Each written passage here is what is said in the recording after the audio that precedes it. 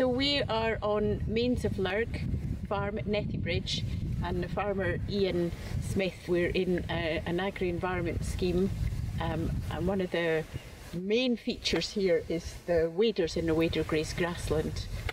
Um, so do you want to say a little bit about the farming, Ian? We've got near 500 ewes, um, 60 cattle. Sheep are worked in both, well, two different sort of lots. We've cross ewes on one side, black faces on the other. Cows, well, autumn calving cows on this side, spring calving cows are here. Everything's calved inside. So, I mean, there is a lot here because there's there's moorland as well, and you've got the river.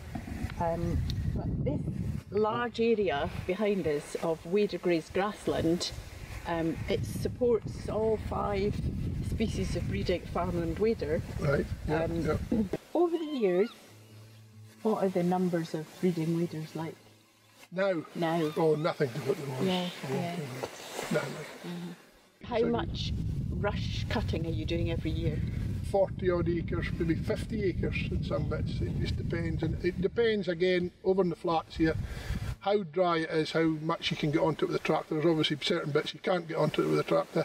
But if it's dry, it'll be cut. But not, you know, not every year. We'll maybe do so much one year, and then what didn't get cut will get cut the next year. So we just try and rotate it like that. You know, don't, don't cut it all at the one time. Because you've got you've got the ditches, you've got the unimproved areas, you've got improved areas, and then you've got um, just slightly mixed where there's cut rushes, emerging That's right. rushes. Yeah, that's so right. you've really got that whole range vegetation structure, and there's some open water and some pools, um, and then you've got the hill behind That's that. right. Yes, that's right. I mean, it is partly it is wet and it's rushy, but you're you're managing it for waders. Yes, that's right.